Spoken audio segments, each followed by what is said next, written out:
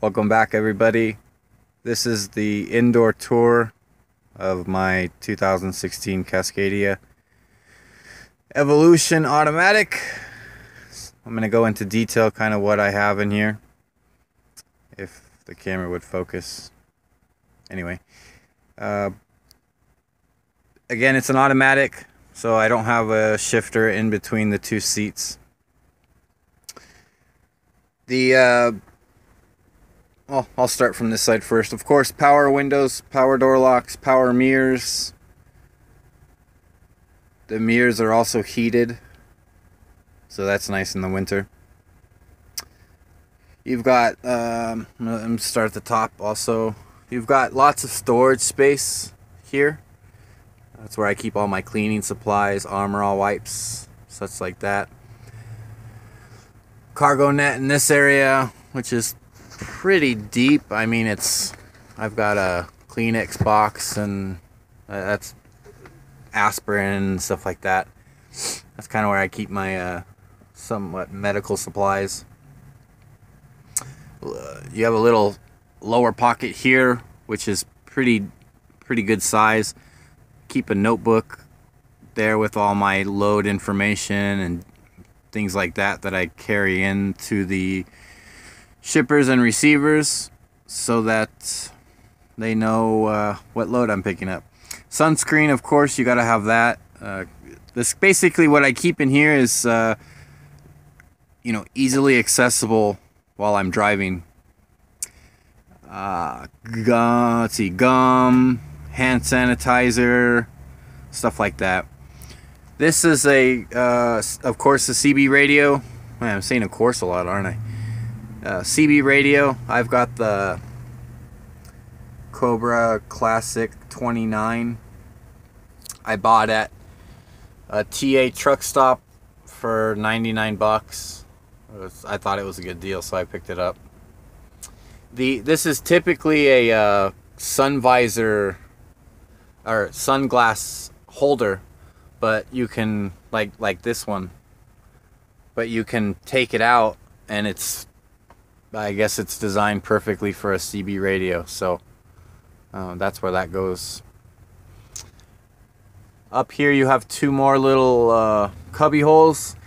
They're kind of short, or they're not very tall, but they go back a good ways. So I kind of keep my paperwork up there, all my, my permit book, my safety vest, some crackers, stuff like that to, to munch on that I I can reach from the seat.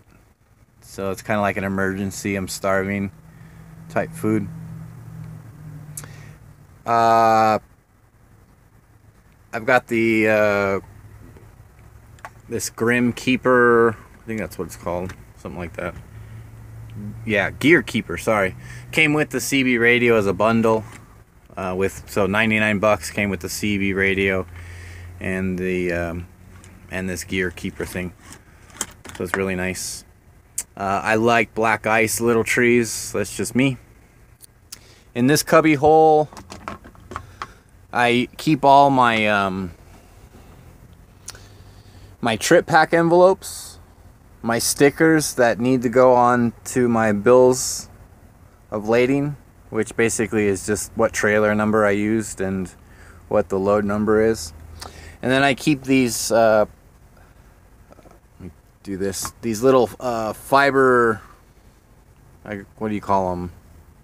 fiber cloth to uh, wipe down my dash and stuff like that when it starts to get real dusty, and then I just hang, just shake it outside the window, and um, it's good. So I keep that because that's kind of one of my pet peeves is to have dust and stuff like that on my dashes, on my gauges, dashes on my gauges while I'm driving. That's kind of that's a big annoyance to me.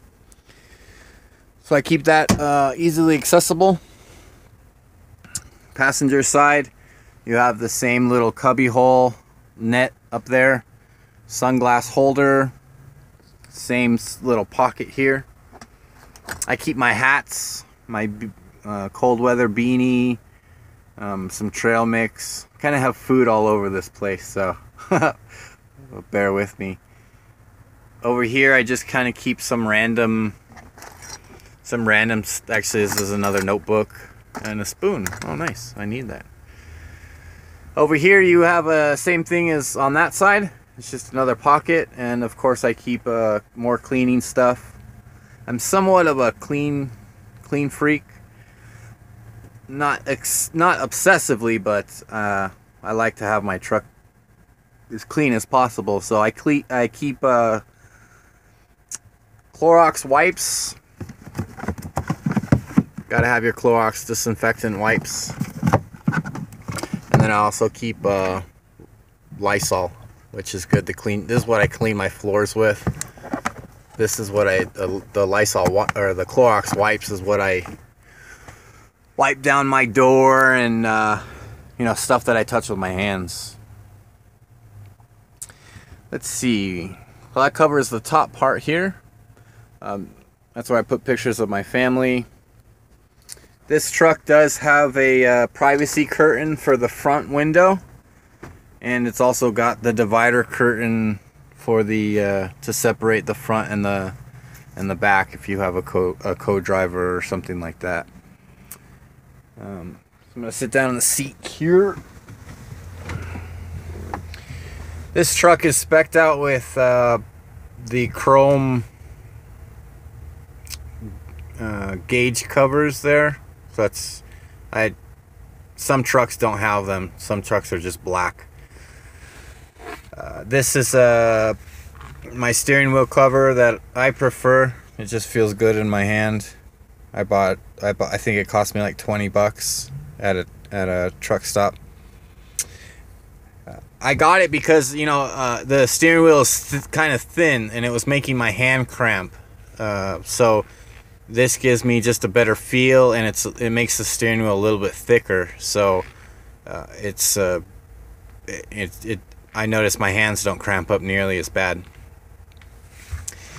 This truck has uh, 90 90,000 90 almost 95,000 on it now I think Oh, I hit 95. Yeah, so 95,000 miles on it. So far, it's been incredible. I have not had a single engine uh, problem or transmission problem at all. It's been so far, knock on wood, it's been a, it's it's been a it's been a workhorse. Very very reliable. It is an automatic truck transmission. I believe it's a 12 speed transmission it's very easy. Uh, the truck is off right now, so it's in my so there's it's not going to hurt anything. But uh, you're just in neutral. When you're ready to go, you have to put your foot on the on the service brake, and then you can flip it to drive, and and it'll it'll go in gear. Uh, to you have to be sure that your foot is on that service pedal though, because if if you uh, if you flip it to drive, it won't go in gear. It'll stay in neutral. So, um, so you just rotate this back and forth. It has two modes, a manual and an automatic. So when it's an automatic, you just flip it and drive and just mass, just push down the fuel pedal and it will shift automatically for you. There's the, at the correct RPM to save to save fuel and everything. And then if you want to switch it into manual manual mode, all you got to do is just push push you know push inwards and that'll switch from automatic to manual mode. Once it's in manual mode, uh, you flip the this lever either towards you or away from you uh, if you press towards you, it'll gear up. So if I'm in 10th gear, if I go like, you know, if I press towards me, it'll go to 11th. If I'm in 10th gear and I push away from me, it'll go into 9th gear. The engine brake is also on this uh, lever here. So you have your three stages. Uh, up is off and then you have stage one two and 3. 3 being the highest. This engine brake works very, very well. It's very strong. I've heard some people say that the automatics engine brakes are aren't worth a damn, but uh, in in this case, uh, I disagree. That at least in this truck, the engine brake is very, uh, very, very good. Uh, one nice thing about the Freightliners is I, I really enjoy is you have the cruise control on the steering wheel. So you on, off, accelerate or uh, resume, cancel, uh, decelerate, and set. I think that's pretty self-explanatory. Uh, you have your city horn here. The, this is so uh, normally Freightliners usually have the engine brake here on these buttons, but in this case, this button is not used for anything. This button is for your marker uh, to interrupt your marker lights. So if you're saying thank you to another truck or something like that, you can press that button and it'll make your um, your marker lights uh, uh, dim in and out every time every time you push that button. Uh, these plus and minus buttons are for the dash. Uh, for the little dash computer for your trip and stuff like that. That's kind of how, how you cycle through them. So that those that's what those are for. Um, I wish they had stereo controls on here instead of this or that. But and and so in my opinion these three buttons should be used for the stereo but they're not so. Uh, left side here you've got your uh, windshield wipers push push down for your uh, washers fluid. And just like a car you rotate it for your different speeds. And uh, you push forward for high beam and backwards uh, to uh, just for regular low beams. Of course, you've got your uh, light switch here, which is uh, parking lights, first stage. Third stage is the, uh, or second stage is your headlights. Your key goes down right here. This pedal is to uh, telescope the steering wheel up and down. And as you can tell, my camera See, there's no clutch. so it took a while to get used to, but there's uh, there's no clutch, so don't be hitting the clutch. Took me a while, but you'll get used to it. This is the standard factory uh, stereo. It's got Bluetooth, which I don't know if it's just my truck or what, but the the um, the microphone is right there but it doesn't seem to work very well. It's it's got horrible feedback, and um, it it doesn't seem to work good at all. So I never use it. It's got Sirius uh, XM, AM FM of course, MP3 player. So you do have your um, USB right here on the side. Also an auxiliary port. You can plug your phone or iPod whatever you want.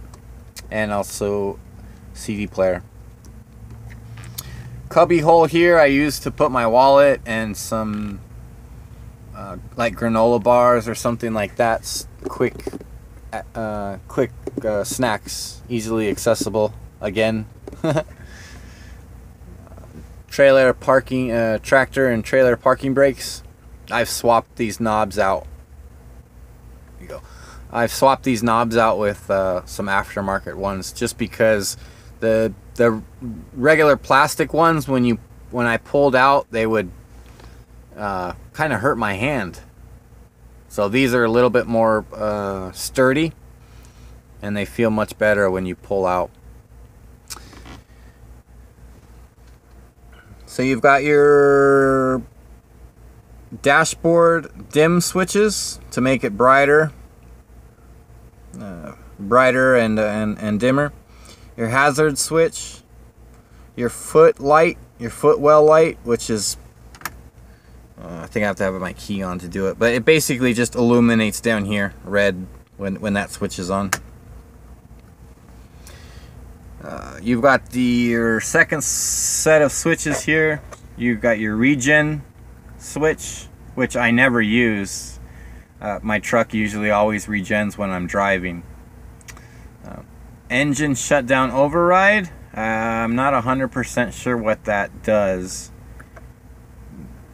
because uh, so I'm not sure if that's for idling or or what. But when I so this truck will shut off after 5 minutes of running unless you turn on the um, the cruise control. You have to turn on the cruise control and uh, this little light orange light will flash right there.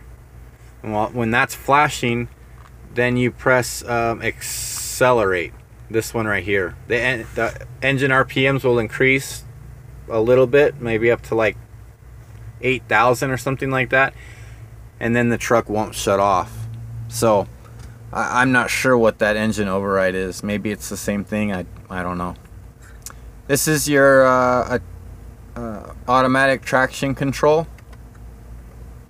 this is your hill override. So this again, this is an automatic truck. So if I'm on an incline and I let go of the service brake, the truck will not roll backwards if the truck is at a certain angle. You can disable that with this switch here. I don't know why you would want your truck to roll backwards when you let go of the service brake, but if you do, there it is. Menu switch this is this cycles also through your uh, computer on your dash so that's what that is um, I did have other buttons here if you look at my past videos I did a video on how to move your rocker switches um, and I and I moved them up there so you know just because when I had things in my cup holder here I, I couldn't access these uh, I couldn't access basically this entire panel. So I moved those switches up there, which is much better. So you've got your utility lamp, which are the, the lights back behind the, the cab of the truck in between the cab and the trailer. So at night when you're hooking up, it's much easier. You've got your dome light, which is that light right there. Not the two on the side, but that but that one in the middle right there. So uh, that's nice to control from here. Your lane alert uh, disable switch and your uh, heated mirror switch. The lane alert is kind of a, is a safety feature in this truck. You'll notice that box right there. It has a little camera on it and whenever it detects that I'm going out of my lane, uh, you know, crossing over the solid white line or the dotted line, it'll beep at me, and that's that's what that camera is. Uh, it, it's picking up the the lane markers on the on the road. So if you hit this switch, it'll disable that camera, but it'll only disable it for like 15 minutes. You'll have to, it'll automatically come back on. It was very annoying, but it's safety says that it works, so it does. You have uh, PrePass in this truck, and that's that's what I use for my dash cam. I'm testing it out right now. It's a Cobra. Uh, I forget what it is. Cobra HDR, something like that.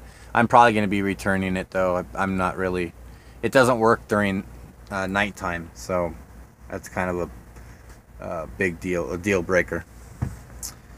Uh, let's see. So you got your temperature controls here, heater, air conditioning, all that good stuff. This works really good. This is uh, just some Velcro that I have on. Uh, I have it on the back of my phone. The other, the the fuzzy side is on the back of my phone and I and I stick my phone right there. I, I'm I guess I'm too cheap to buy a cell phone carrier or you know what I mean, a, a holder. So I had some extra industrial uh, Velcro and I just stuck it there. If I ever move out of the truck. Sorry about that. My battery is getting really low, so I kind of got to speed things up. Uh, right here we have your uh, differential lock, which for your uh, for your drives in the back, very nice. Here we have your fifth wheel release. So if you need to slide your fifth wheel, which is pretty random, and this is to lower your uh, suspension in the back. So to get you to lower your fifth wheel. Uh, well, you got those three switches right there. That pretty much does it for the for the front part here. You have two power outlets, one here and one here, and I have a, a dual uh, converter. So it's it's run one's running my dash cam, and the other one's running this white Coleman cooler uh, this company uses DriveTech and PeopleNet. Yes, it is kind of big and clunky, but uh, I hated it at first, but now I love it. Uh, it's got a big screen and very easy to read navigation and all that fun stuff. So this is uh, just to show you. This is the amount of miles that. This, it's just an example. Not every week is like this, but uh, you know this company's got really good really good freight. So, uh, you know, if, if you're ready to run, this company's got has got the miles for you. I think that comes out to like 3,700 miles or something like that. Really good. Uh, cup holders right there. Very nice and easy and convenient. What else? Uh, guess I'll just move on. So I use um, I got this at a uh, the the Iowa truck stop. It's basically just a um, a seat cover. It's got a it's for it's it's for the your back and this and uh, and your butt because these these Freightliner seats aren't the um, aren't the most comfortable in the world. So that was a I think that was a good investment. Keeps my keeps my butt from getting numb. Um, so my trash can here, I throw all my trash in there, uh, and I looked all over for a lid for something to to put on it because sometimes you might not be able to throw your trash for like a day or or something like that or you throw a can of soup and you, you know it's going to smell up your whole truck. So i found that at walmart um, trucks have good, you know, they're they're in my opinion they're cheap seats. They're you know they're not like a uh, that that can be it could be greatly improved. The lumbar support is not the best, but uh, it is what it is. What are you gonna do? Uh, decent sized little glove box. I basically put my FMCSA manual and stuff like that in there. I keep this Coleman cooler in between my two seats. I keep all my um, uh, my quick and uh, drinks basically. I keep my uh, waters, uh, soda, which I don't really drink too much soda, but I I keep one or I keep like a six pack in there for reserves in case I need. Uh, uh, I'm getting tired or something like that. I keep my coffee creamer in there. Basically my, my liquids. Some fruit, some applesauce, stuff like that. Basically just whatever I while I'm driving I can reach I can open this, reach my hand in there, grab something to drink. And this this Coleman cooler I've had it for uh, maybe like six or six to eight months so far, and it's it's worked great so far. So good, thumbs up. Pick it up at the truck stop for 99, 89 or 99 bucks. So I'll, I'll rotate here. Uh, this is the, the back of the of the truck. Um, to me, this is what how I do it. My shoes never leave that driving area. Like I always take my feet or I, I always take my shoes off right here. Um, that that goes as far as anyone in my truck. So this is you know shoes only area. Um, if if you're coming back here, you're gonna you're gonna take your shoes off just because you're walking around in so much gross stuff. That's why my floors look so so clean and stuff like that, and I keep them clean because I don't allow shoes back here. Um, got a this carpet here, which is this this rubber mat gets cold sometimes, so it's just kind of a nice soft thing to put your foot, feet on. On the left side here, we have a storage cabinet. I usually keep my case of water or um, anything like big. That you know, case of water, an extra case of Coke, or um, just extra storage down there. It's it's pretty good size too. It's you know, it's probably a good two feet high or so. Um, you got your refrigerator here. That's my um, my magnet right there. Yes, it's I love weed, California. It's a it's a city in California, so don't get crazy. Uh, this is made by Dom- Dometic. I put a something little cloth right there to help it from rattling. And it's I mean it's a it's a decent fridge. You know what I'm saying? I keep um, pickles, mayonnaise, mustard, jalapenos, uh, cheese. What do I got here? Uh, cream cheese for my bagels. Uh, I'm gonna go shopping here tomorrow probably, but uh, Lunchables, uh, jelly, lunch meat, uh, those little sausages, the Vienna sausages or whatever they're called. I keep in there. Um, this this is usually more stocked. I usually keep yogurts and um, some fruit and stuff like that, but I'm I'm running really low. Uh, the, that the the freezer is really really small. You know, it's just basically you can. I got. I, I, I usually keep my um my my frozen. Oh, I got burritos flying all over. I usually keep my frozen um, breakfast sandwiches burritos, uh, lasagna, or something, anything I can fit in there. But as you can see, it's not much at all. I actually might go to Walmart tonight. So it's that's really nice. Here I have my um, the DVR for the DirecTV. I have my coffee pot, which I usually make coffee every single morning. This is what I use. Dunkin' Donuts caramel coffee. This stuff's really good. Um, let's see what else. I keep uh, some Tupperware stuff in there for my microwave when I put soup and stuff like that. And um, this cabinet here, right, which is right above that, that's what I use. Uh, that's where I keep my my my microwave.